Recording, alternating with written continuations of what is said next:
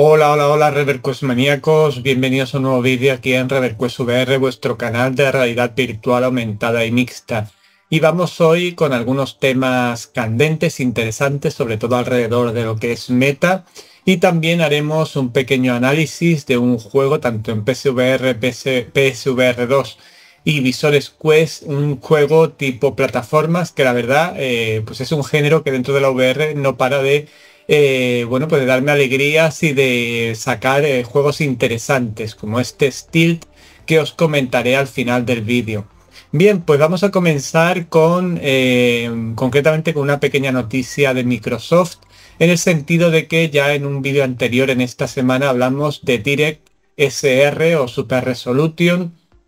una tecnología que iba a sacar, bueno, y que va a sacar de hecho Microsoft en su sistema operativo en Windows 11 para eh, pues mejorar el rendimiento, digamos así, de los juegos y demás y que no sabemos exactamente todavía en qué puede afectar a la VR. Bueno, yo os comenté que iba a ser como una alternativa al DLSS de, de Nvidia, al FSR de mm, esos sistemas de escalado, el FSR de AMD, etcétera, etcétera. Pero finalmente parece ser que no tiene nada que ver con, con ser una alternativa. Se ha confirmado que parece ser que lo que es este Direct eh, SR eh, es el hecho de una pequeña eh, sistema de programación que han metido en el SDK de DirectX para la implementación de las técnicas de mm, escalado como DLSS, FSR o SES, que es la de Intel, de forma sencilla en juegos, con lo cual, pues al final lo que se conseguiría es, con este tema es que, sobre todo para juegos futuros, eh, pues la implementación de sistemas de escalado en juegos pues sería mucho más sencillo de lo que es actualmente, con lo cual pues podrían llegar estos sistemas de escalado con mucha más facilidad a todos los títulos. Si esto puede llegar a, lo que es em, los juegos de VR en PSVR, pues a, día de hoy no lo sabemos. Este, deberían, deberían, bajo mi punto de vista, y esto es una opinión, las personas o desarrolladores que generan juegos para PSVR empezar a implementar este tipo de sistemas eh, en sus juegos, porque lógicamente eh, no todo el mundo posee una tarjeta suficientemente potente para poder ver juegos en VR y disfrutarlos en toda su plenitud, y sin embargo, pues incorporando, ahora que va a ser más sencillo a partir de marzo, eh, estas técnicas, pues sin duda alguna, pues facilitamos mucho, sobre todo a los desarrolladores por un lado, implementarlas, pero también a los jugadores, a pesar de no tener una tarjeta tan potente, poder disfrutar de los juegos eh, con esa velocidad adicional, ese rendimiento adicional que nos ofrecen este tipo de técnicas como DLSS, FSR o SES. Por tanto, bueno, ahora mismo es una incógnita si esto finalmente llegará al mundo de la VR. Yo deseo que sí, ojalá que sea que sí pero al menos eh, habrá una forma para los desarrolladores más sencilla de incorporar eh, estas técnicas dentro de lo que es los juegos en general. Eh, también tampoco sabemos, ignoramos ahora mismo cómo puede afectar esto a la comunidad modder, ya que a lo mejor oficialmente no se introducen este tipo de técnicas en juegos, en VR me refiero, pero puede ser que haya eh, desarrolladores como el propio Preido con el Unreal Engine Injector, etcétera, que con su capacidad y sus conocimientos sean capaces de utilizar esto para implementar estas técnicas en, lo que son sus proyectos y darnos un rendimiento adicional que vendría fenomenal. Pero bueno, habrá que estar a la expectativa y lógicamente cualquier novedad al respecto pues ya os la iré comunicando. Lo que, lo que yo quiero que quede claro en el día de hoy es que esta técnica finalmente no es una alternativa a lo que ya hay, sino un modo de mucho más sencillo para los desarrolladores de incorporar estas técnicas en, eh, en los juegos y demás, ¿vale? Bien, Vamos a pasar eh, en este caso ahora con Meta. Tenemos dos noticias concretamente con Meta. Por un lado, hay que os quiero comentar que a, partir de 31 de marzo de 2024 todas las cuentas. Eh, recordad que hace ya un tiempo se cambiaron las cuentas de Facebook y de Oculus por la cuenta única de Meta para acceder a sus visores con privacidad y demás. Eh, esa, esa, demanda que tanto se le había hecho a Meta. Y nos dio de plazo hasta 2024 para hacer ese trasvase de nuestras cuentas al eh, sistema de Meta. ¿Qué ocurre? Que ya han avisado, a mí me llegó concretamente con una cuenta que yo ya no utilizo, eh, un aviso de que las cuentas de Oculus iban a ser pues eliminadas a partir del 31 de marzo de 2024, aquel que no las haya trasladado eh, a una cuenta de meta. Ojo con esto porque al eliminar las cuentas también se eliminarán todos los juegos que tengáis comprados que estén unidos a esa cuenta, etcétera, etcétera. Por tanto, mucho cuidado con no haber creado una cuenta de meta si queréis seguir usando vuestros juegos, etcétera, en lo que son los sistemas de meta porque a partir del 31 de marzo se eliminarán esas cuentas y podéis perder vuestros contenidos de forma irreversible. Bien, esta es la primera noticia de Meta que os quería comentar. La siguiente noticia de Meta que os quiero comentar está relacionada con Google y ese amor imposible que parece que hay entre ambas compañías. Eh, bueno, yo ya os he comentado en alguna ocasión que en algunos momentos Andrew Bosworth y el, en general eh, Meta ha intentado que las aplicaciones de Google eh, se pudieran, la Play Store de hecho, se pudiera asimilar al sistema operativo de Meta y podríamos disfrutar de esas aplicaciones 2, d igual que se está haciendo en las Apple Vision Pro con todo el sistema de, de Apple, pues ocurriera lo mismo con el sistema de Google dentro de los visores Quest. Pero Google en todo momento se negó, dio una negativa, de ahí que ahora mismo, como he comentado en alguna ocasión, para instalar cualquier APK eh, digamos así, no oficial en nuestras Quest, tengamos que echar mano de SideQuest o otras aplicaciones para poder hacerlo de forma extraoficial. Pero si este sistema de, Google, en la Play Store, eh, ellos hubieran querido que se hubiera instalado en el sistema de Quest, pues no tendríamos que andar con estas herramientas. Ahora, cuando se está acercando ya, ya sabéis que estamos comenzando la era computacional que se ha definido así, que ya como os he comentado es como la versión premium de la RXR pues ahora resulta que Google se ha puesto en contacto con Meta para, eh, bueno, pues para decirles o para pedirles que eh, utilicen su sistema, su nuevo sistema operativo Android XR, el que van a sacar con su nuevo visor eh, en el que Samsung va a poner la parte de hardware y Google va a poner la parte de software. Eh, ya sabemos que Google eh, anteriormente ha intentado sacar algún visor creado por ellos mismos y al final han sido todos cancelados finalmente y se han centrado en, en lo que es el software. Samsung sacará lo que es el visor a nivel de hardware, como digo, y Google a nivel de software. eso será a final de este año. Y entonces, pues eh, Google ha pedido a, Meta o ha solicitado, como queramos decirlo, que eh, pues eh, instalen en sus dispositivos Quest Android XR, que con eso tendrán disponible todas sus aplicaciones, etcétera, etcétera. Y esto lo ha comentado concretamente Andrew Bosworth, que ya sabéis que es uno de los responsables de Meta, en su Twitter. Además, comentando que efectivamente le han dicho que no a Google y a su Android XR, puesto que esto significaría renunciar a toda la evolución, todo el trabajo que han hecho durante años en su sistema operativo, el MetaOS, y que eh, de ningún modo iban a, mm, pues a utilizar un sistema operativo que no fuera el que ellos han ido eh, creando y evolucionando a lo largo del tiempo. También basado lógicamente en Android. Eh, lógicamente Meta ha invitado a, Google nuevamente a que pueda eh, que se pueda poner la Play, la Play Store en su, eh, su sistema operativo de Meta, que a día de hoy ha comentado Andrew Bosworth que sería posible sin ningún tipo de problema, pero ahí hay ese tema de, que Android quiere que Meta eh, ponga su sistema operativo en sus visores y Meta quiere simplemente poner la Play Store al servicio de los consumidores, de los usuarios de, de sus visores Quest. En principio, pues parece que no hay acuerdo, ya que, como ya os he comentado hace un momento,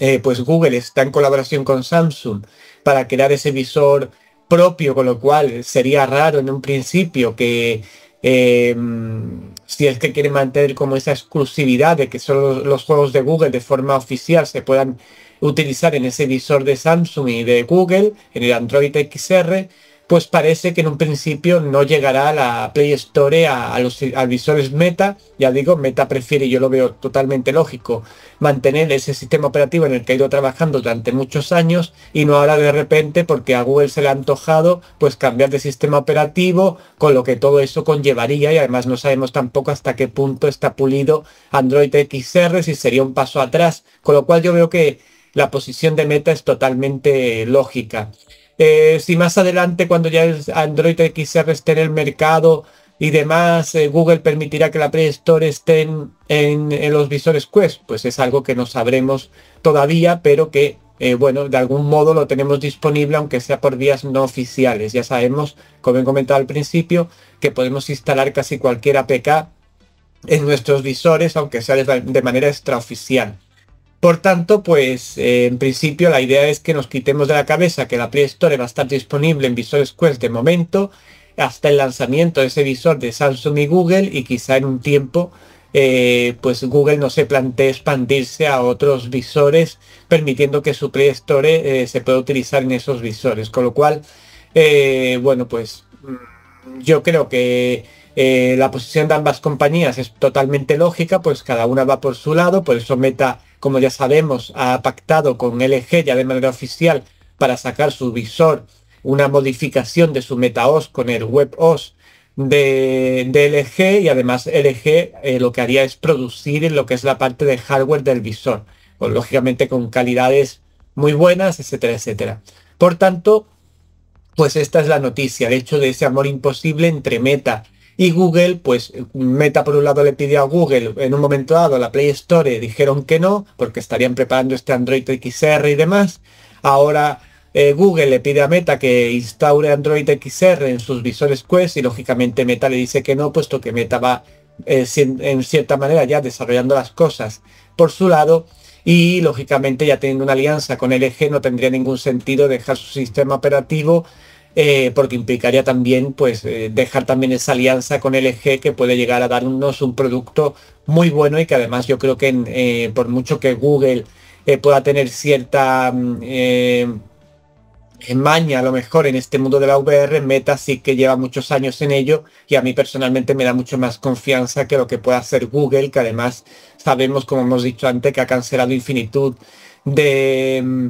eh, de proyectos, de visores, etcétera, etcétera, y de otros tipos de proyectos que ha lanzado, con lo cual a mí no me generaría confianza. Oye, ¿qué quieres tener la Store en Visores Quest? Pues dame las herramientas y lo tendrás. Si no, tú por un lado y yo por otro. Ese es el resumen de todo esto. Bien, y con esto eh, damos por cerrada esta noticia y vamos con el análisis del día, que es ese juego que os he comentado de plataformas llamado Stilt un juego que, bueno, pues debo dar las gracias a sus desarrolladores que nos han hecho llegar una key de las tres versiones disponibles de Quest,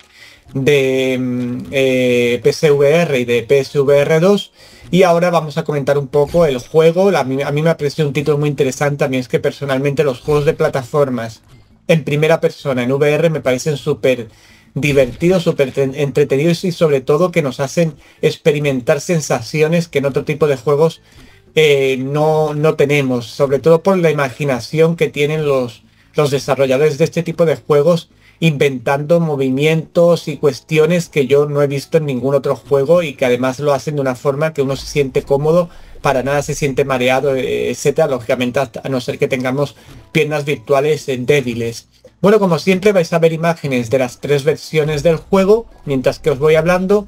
y vamos a comentar un poco pues todos los aspectos del mismo. En el juego somos una especie de alienígena que lleva el correo entre planetas y en un momento dado pues se cruza por un planeta y en ese planeta pues una criatura pues nos hace estrellar nuestra nave y tenemos que ir, aquí empieza nuestro juego, nuestro papel, tenemos que ir recorriendo todos esos mundos en una gran cantidad de niveles, sesenta y tantos niveles y bueno, cada vez más complejos, más eh, a la vez que complejos más chulos visualmente y experimentalmente a nivel de VR. Tendremos que ir eh, recogiendo sellos que vamos a tener y cartas a lo largo del camino. Y eh, lo chulo que tiene es que a nivel de mecánicas VR y experiencias VR tiene infinitud de experiencias que hacen del juego un juego muy rico a nivel de, para mí, un juego digno de ser experimentado, aunque no os guste mucho los juegos de plataformas pero es una experiencia para mí muy divertida y única. Bien, eh, bueno, pues tendremos que acompañar a este alienígena eh, que reparte correo eh, por los distintos niveles. bueno, vamos a empezar a comentar los, lo que son los aspectos técnicos del juego y vamos a ir comentando cada versión. A nivel visual, el juego en todas sus versiones eh, pues luce muy bien. Incluso en Visual Quest no hay mucha diferencia ni con, PSVR 2 ni con PSVR. Todos más o menos lucen igual de bien. Quizá el que se lleva la palma en lo positivo sea, como suele ocurrir en estos casos, la versión de PSVR que eh, tiene una nitidez extra y quizá también a nivel de colorimetría de negros y colores más vivos, etcétera, pues sea la versión de PSVR 2 haciendo uso del pañuelo LED y del HDR la que se lleva la mejor parte. Sin embargo, las otras versiones a nivel de colorimetría eh, van bastante bien, solo que es verdad que se nota que en PSVR 2 luce un poquito mejor. A nivel de nitidez, pues ya digo, los tres más o menos igual, aunque la de PSVR sobresale. A nivel de fluidez, el juego va fluido en todas las versiones, sin ningún tipo de problema. La versión de Quest eh, no tiene apenas, por no decir ningún tipo de dientes de sierra, lo cual es de agradecer que poco a poco esos dientes de sierra se vayan descartando y se vayan eh, puliendo, eh, lógicamente, con las nuevas capacidades de las MetaQuest 3, ya que este tema de los dientes de sierra pues será muy propio de MetaQuest 2. Bien, por tanto, tenemos un juego muy sólido en ese sentido, en el sentido visual, en las tres versiones. Comentar también que la versión de PSVR 2, eh, por un lado, no tenemos nada de ghosting, con lo cual este eh, obstáculo ha sido solventado. Eh, no parece ser que no tenemos reproyección y también por otro lado el efecto Mura prácticamente es inexistente no, no se nota para nada porque además tenemos unos escenarios casi en todo momento coloristas eh, vivos, entretenidos y entonces el, efecto Mura que se suele notar sobre todo en zonas oscuras pues es prácticamente invisible, no lo notamos prácticamente en ningún momento. Por tanto, a nivel visual, eh, ya os digo, las tres versiones lucen eh, perfectamente bien, se ven chulas, se disfrutan, son, van fluidas y no hay ningún tipo de problema. En cuanto a lo que es el juego en sí, la, cómo están diseñados los escenarios, etcétera, etcétera, son diseños, bajo mi punto de vista, muy currados, muy originales, eh, con una mezcla de movimientos aeróbicos, de movimientos de habilidad también. Eh, nosotros nos movemos, por cierto, que no lo he dicho, a través de unos muelles. Somos como tenemos, unos muelles en, los, en ambos mandos, que son nuestras piernas, por decirlo así y vamos a poder con ello saltar según la fuerza que demos al, al movimiento que hagamos con, el, con las manos, en, con gestos y demás, vamos a saltar más alto, etcétera, etcétera. Vamos a poder utilizar eh, a nivel visual multitud de plataformas de todo tipo, de mm, eh, incluso el propio, eh, conforme avanzamos, digamos así, vamos a encontrar en unos barriles que hay que podemos romper con nuestra propia, con nuestro propio muelle, eh, a ciertas pastillitas que nos van a dar habilidades como poder disparar, como incluso dar un salto y sacar como una especie de hélice y volar durante un rato. El juego está muy muy bien a nivel de em, experiencias diferentes que nos ofrece y distintas funcionalidades que vamos a tener eh, lógicamente apropiadas a un juego de plataformas. No vamos a tener tanta cuestión a nivel de agarres, de abrir cajones, etcétera, porque no es un juego que vaya a tratar de eso, por tanto me parece perfectamente lógico, pero a nivel de utilizar los gestos de em, según la fuerza que demos eh, con los mandos, saltar más alto, más bajo, eh, poder matar los enemigos que nos salen también con, con, la mano, con el, vamos, con el, con los mandos y demás, con esos muelles, etcétera, todo eso está implementado a la perfección.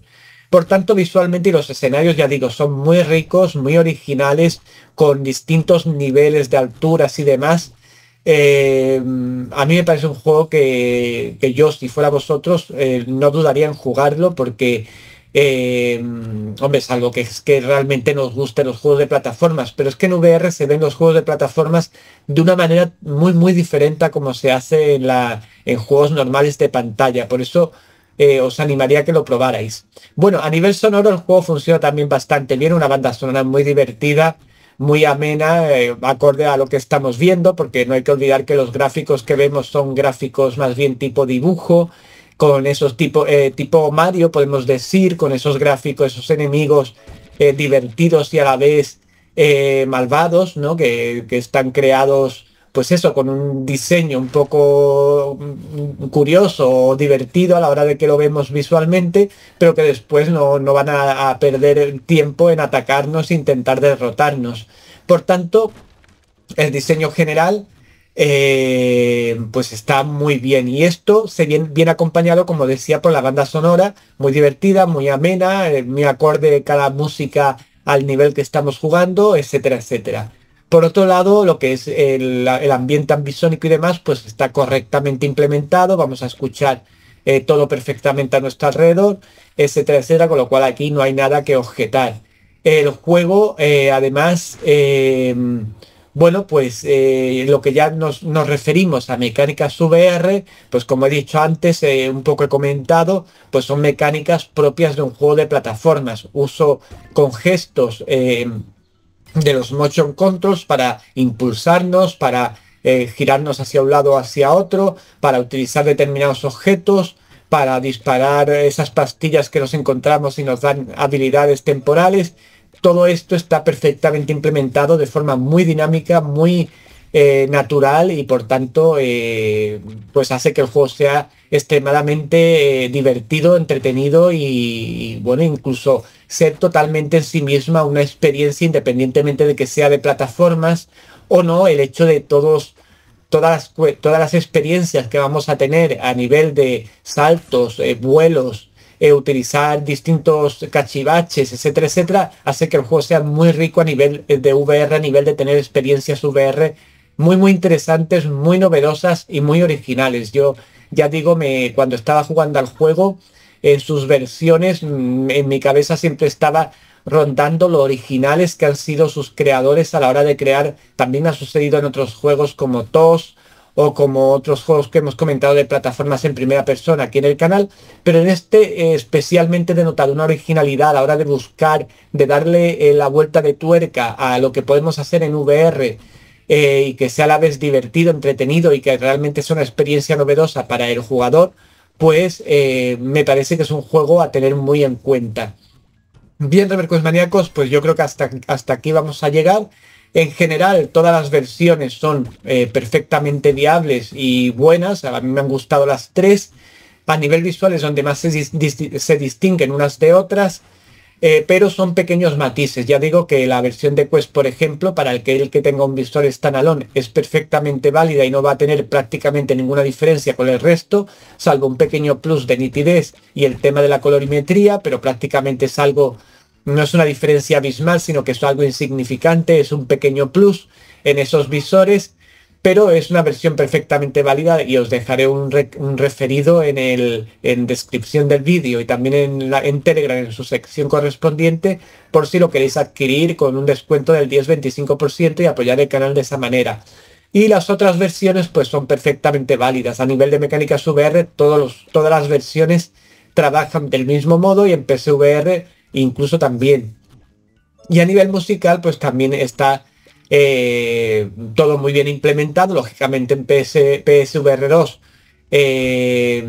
o en PSVR, si tenemos unos buenos auriculares, la música y demás suena un poquito más contundente, pero en general el juego es muy interesante en las tres versiones disponibles según lo que, lo que queráis vosotros experimentar o la plataforma en la que estéis. Por tanto, pues para mí un, nuevo título de plataformas, a mí ya digo que personalmente todos los juegos que están saliendo de plataformas basado en cierta manera en ese Gorilla Tag que fue el que dio eh, el pistoletazo de salida, eh, pues a mí me parecen todos muy interesantes y sobre todo, ya digo, porque mm, no, no por el juego en sí a lo mejor, que tampoco tienen eh, como decirlo, una narrativa a lo mejor especialmente profunda, pero sí a nivel de las experiencias que nos permite vivir o que podemos vivir a través de estos juegos. Outa Hand es otro que salió en su momento y que también es muy interesante. Son juegos muy originales, ya digo que nos permiten hacer cabriolas, saltos, lo que no te puedas imaginar en VR y esto para mí tiene mucho valor porque dice mucho de la valentía de sus creadores y de la valentía de, bueno, la valentía y la imaginación de los propios creadores a la hora de diseñar esos sistemas para que podamos realizar todo, todas estas impresionantes acciones en VR y que además no nos sintamos mareados ni incómodos. Bueno, pues título recomendable y con ello finalizamos el vídeo de hoy. Espero que os haya parecido interesante, que os haya gustado. Comentaros que esta tarde sacaremos el perfil Gold del simulador de vuelo DSS, ya con este será el definitivo, dejaremos obsoleto el anterior que teníamos en el canal y este será el que lo sustituya y será el definitivo. Eliminaremos los contenidos del anterior también y será este el que será la referencia con el cual he conseguido lograr 120 FPS sólidos prácticamente en cualquier tipo de escenario, eso sí, utilizando SSW y una media, depende del escenario, hay escenarios un poquito más cargados gráficamente que consigo de 60 a 70 FPS sin el SSW y otros, eh, la mayoría, eh, un poquito menos cargados de, gráficos y demás que se consiguen entre 100 y 110 FPS sin SSW. Pero conectando el SSW vamos a 120 FPS sólidos y además con eh, yo por lo menos no he sido capaz de ver ningún tipo de, de lo que son artefactos ni problemas al respecto de utilizar el SSW, con lo cual es recomendable. Bien, revercues maníacos, pues eh, nos vemos en un próximo contenido esta tarde en ese tutorial y espero que paséis un buen fin de semana. Eh, como siempre, os que hayáis descubierto el, canal con este vídeo, suscribiros al canal, marcad la campanita en todos y a disfrutar de nuestra comunidad. Dale a me gusta al vídeo que es importante para que sepa que os ha gustado, que os ha sido útil y sobre todo para que otros usuarios conozcan el canal y el contenido. Y bueno, pues finalmente en la zona de comentarios me podéis comentar lo que queráis sobre todo lo que hemos hablado en este vídeo. Nos vemos pronto, pues maníacos. Buen fin de semana. Chao, chao.